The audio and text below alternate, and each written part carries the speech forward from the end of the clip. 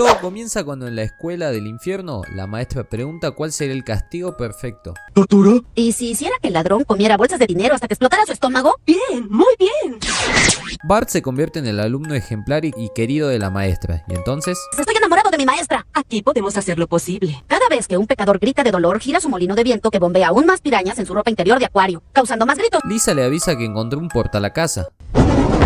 Bienvenidos a la Tierra, hora local 1037. Sabemos que pueden elegir portales, así que gracias por elegir el cuarto Infernal Bronze, una división de Golf and Western. En casa, Bart le dice que quiere ir a esa escuela. Tal vez sea una escuela privada que cuesta un millón de dólares al año. Papá, no es una escuela privada, es gratuita. Oh, entonces está bien. Ya en el lugar, March le parece raro que sea en el infierno, pero no lo quiere decir. Yo lo diré, March. En el infierno, el averno, perdición, en Arizona sin golf. Resulta ser el mejor alumno de la clase, Mi hijo es estudiante sobresaliente en el infierno.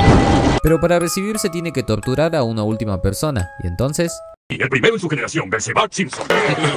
¿Cuál es el tuyo?